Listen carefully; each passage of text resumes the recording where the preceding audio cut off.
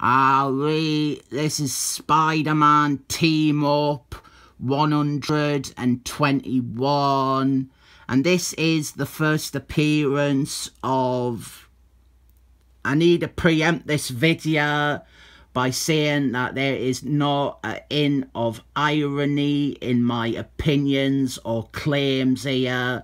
This is totally sincere. This is the first appearance of one of the best characters ever. This is the first appearance of Frogman. It is meant to be Spider-Man and Human Fire team up, but it ends up being the introduction of Frogman. Frogman he is a D-list character and he is D-list by design. He's meant to be D-list. He is this schlubby, naive kid who puts on a frog costume and usually falls over. He's this sweet little lad with a kind heart who wants to help out but he ends up walking into walls. This is written by J.M. DeMatteis, and I count this as part of his Defenders run. I have it in with my Defenders comics.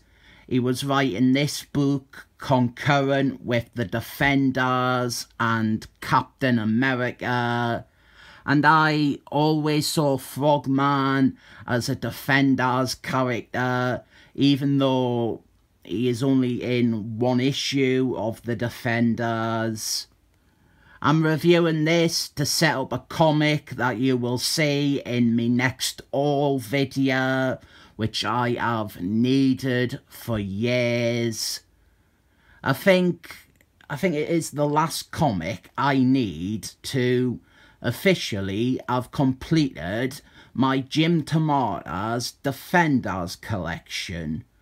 And as this issue demonstrates, my god, am I very thorough and loose with what counts as a Defenders comic. There isn't a single Defenders member in this. It is just because Frogman is a character in one issue of The Defenders. And I think Frogman, he really works as part of the Defenders mythology and lore. I suppose the bad guy in this issue has some Defenders ties as well. But this is a Spider-Man and Human Fire team up which isn't the most exciting prospect. We've seen this a dozen or so times before, and they are just stopping a generic robbery here. But then Speed McGee gets involved. This character is one of them recurring Marvel Universe enemies he has been a member of a bunch of villain teams. He started off in the Crime Syndicate, the Evil Justice League that the Avengers fought. And then he joined the Insidious Six, the Masters of Evil. But what I know him the most from is Thunderbolts. he was a member of the Thunderbolts for a sizable portion of issues. Uh, Fabian Nicieza's run. He was fun in that. He had a good little subplot where he would be a hero on the Thunderbolts as Speed McGee. And then he would go out and commit crimes in his hard costume and pretend that it wasn't him. Here we are introduced to Frogman. And really, Frogman is a great character. I'm really not joking. He is a comedy character done well. His backstory is that his father was an hard Daredevil villain and not a very good one, so he retired.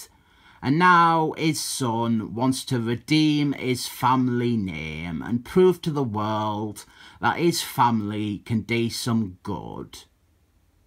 Now I am introducing a new feature called Did Michael Brian Benson fuck up this character and or their continuity?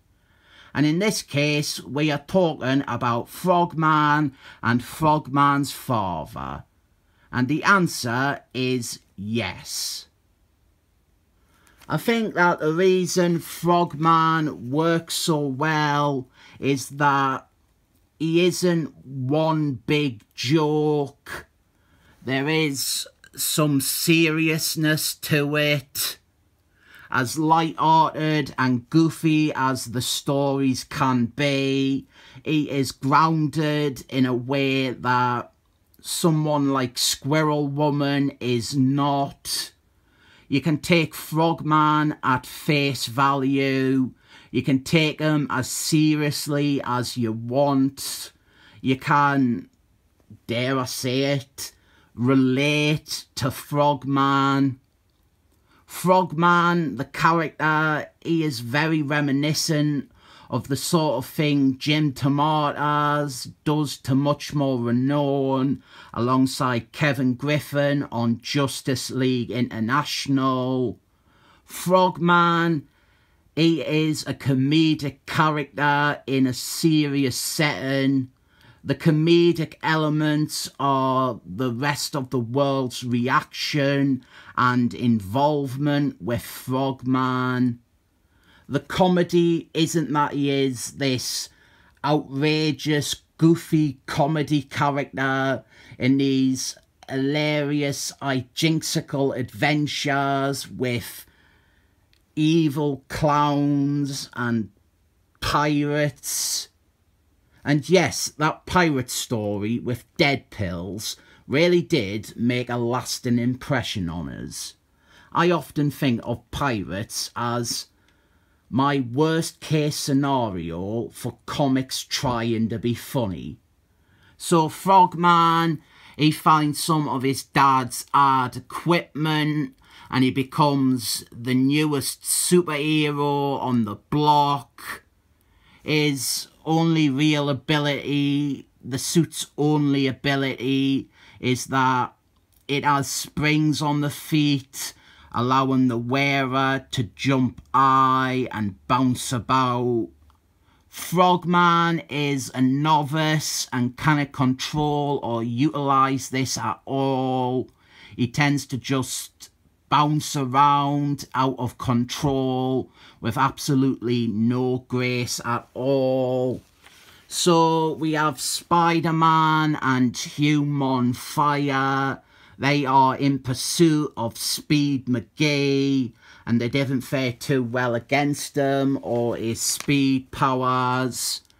Uh, what isn't helping matters is that they are bickering over which of them is going to actually beat Speed McGee. And if you have any sense of basic narrative storytelling, you already know it's more likely Ganon to be Frogman. Here, Frogman, he tries to stop a mugging, but he loses his balance and instead they all run off because Frogman looks like a weirdo rather than running away out of fear. And then the odd lady that he saved thinks that he is some commie pervert and yells at him for saving her. He then accidentally gets into a skirmish with a police and Frogman's exploits, they are just endearing.